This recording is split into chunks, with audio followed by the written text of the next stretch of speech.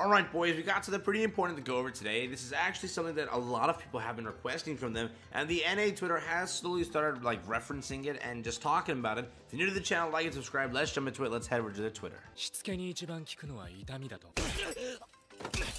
So again, heading over here, this is the MHA um, NA Twitter. Again, if you don't know, NA always tweets stuff. They always talk to people. Um, they are way more vocal than the EU Twitter. Um, so again, if you ever like get a reply from them, usually they are talking about something, they're fixing a problem, um, they're congratulating you on your summons, um, or they're teasing something or hinting to something later in the future, which they've done many, many times before. Sometimes we really get a banner um, info before it comes out because the NA Twitter has went and teased it. So that is something they've been uh, they've been doing.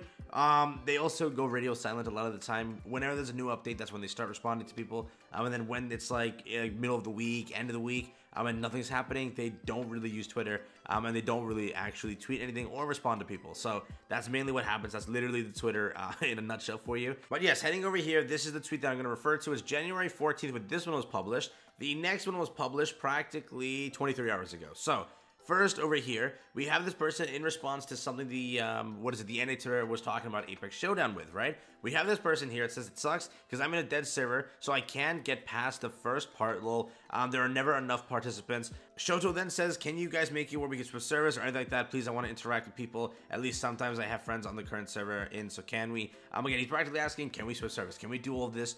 Because um, remember, first for Apex Showdown, this is a massive problem. You literally have no ability to play this game mode if you are on a dead server or if your server just forgets. If they literally forget to play that day, you lost out of the entire thing. And then again, if the server, apparently this was like a thing, if the server next to you um, doesn't qualify, your server won't be able to play in the grand finals and all of that stuff. This mode was designed for a live servers and this game does not have many of those because of what's happened, right? Recently, um, whenever WHM hyped up the game, those servers really, like, you know, like profited. They got a bunch of players, they got all of that, but during that dead time between like the rerun cycle um, before WHM released, there were so many servers released and they all died. They literally did. I believe like 135 and above was a ghost town for a little bit um, until they had new players um, resurrect some of the ones above. But there are servers still that are just dead. They really are. There is no revive to them. They're just literally um, at a point where they can't do anything. Some people will be like 80,000 BP and they'll be like number one on their server, which that is like crazy to think about. So there are servers that are dead, and again, that mode really made it happen. We had the MHA thing, uh, or rather, the mode made it more apparent, right? The MHA uh, Twitter went and responded with, um, "We are working on the server issue in the background, so please stay tuned for the news in the future." They then also recently responded over here, um, confirming that they will try to do something with the server merge. They're going to attempt it. If you don't already know, CN did it. They also went um, because the game has died at a point where their like servers are so dead that they had to go and merge 1 to 10, 10 to 20, 20 to 30. Those servers were combined. And all of a sudden now, you have those servers. Whenever you log into server 8, you technically are consisted of server 1 to 10. That's what exactly what happens over there. Um, it's either 1 to 10 or 1 to 7. I don't know what exactly they did. So just keep that in mind. It could be 1 to 7. Um, and that is where the server merge will take place for global as well. They'll do it that way 1 to 7, then 7 to 14, and so on and so forth. That many servers each time. Um, that might be their entire goal. But remember, CN did it. They were successful. They actually re brought the game back to life. Um, where you can actually go into the main hub area and see players running around because there are so many of them now existing. It's pretty cool. Also, by the way, if you wanted to join um, my Discord down below, I finally reopened it. So if you would like to join up, um, that is now open for you. We have some pretty cool stuff planned over there. So if you want to go and join up, you're more than welcome to.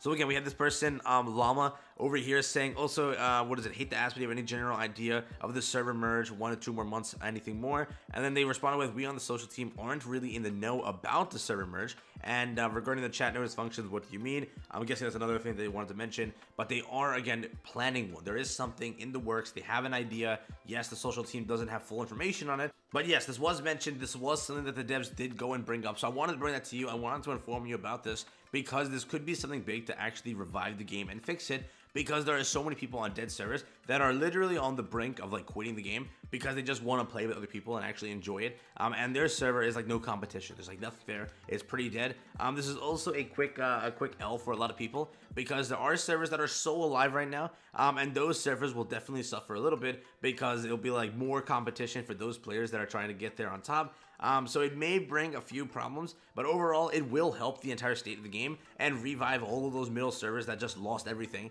um, and at least gives them the ability to play. Again, they could also do it where if 1 to 7 is already so stacked, they just have to go and merge these servers that are so dead and at least fix it that way where people can actually play the game um, and enjoy it. So again, we will see what their entire plan is on a server merge, but it looks like it's you know, becoming more and more possible. First off, just so you know, CN did it two months ago. Um, in one of their latest updates, they went and like fully did it, and the hub is insanely alive. Everything is actually alive, so that is really cool. So again, if CN could do it, probably they could just copy and paste that entire thing. Try it over here on a little bit of a bigger global scale, and we could actually have that happen. So again, bring that to you. Thank you for watching. Peace out, everyone. Enjoy the rest of your day, and I will catch you guys in the next one. Have fun and take care.